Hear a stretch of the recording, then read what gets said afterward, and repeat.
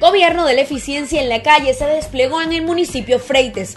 En el marco de la ofensiva económica anunciada por el presidente Nicolás Maduro, el gobierno revolucionario del estado Anzuategui entregó una maquinaria agrícola tipo rastra a productores del caserío La Leona. Esta iniciativa es con el fin de cumplir con el primer gran objetivo de la patria, de lograr la soberanía alimentaria para garantizar el sagrado derecho a la alimentación de nuestro pueblo. En el municipio de Igualmente que los 50 camiones cisterna que teníamos, bueno, ya en la capital tenemos 5. O sea, quiere decir que hemos resuelto casi un 80% del problema del agua. La meta.